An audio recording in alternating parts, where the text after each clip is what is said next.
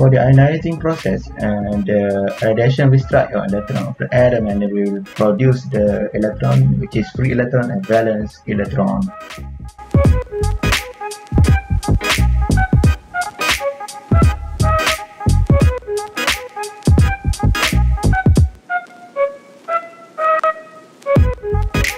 Six important things what you need to know about ionizing chamber. First, metallic surface chamber will act as a cathode. Second, a rod will act as an anode.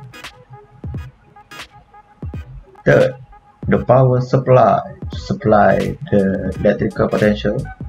Measuring device as number 4 to measure the voltage. Number 5. Insulating material. And the last, number 6. Radiation.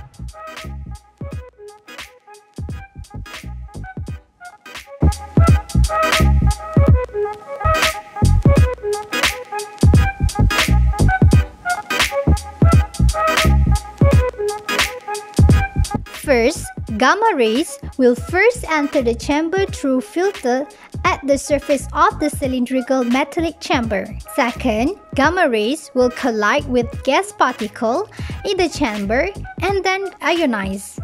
And then ionized particle will go to their respective polarity.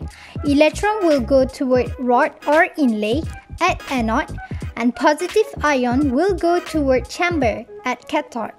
The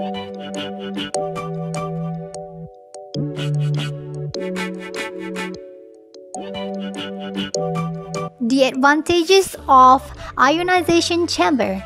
First, preferred for high dose rate because no dead time.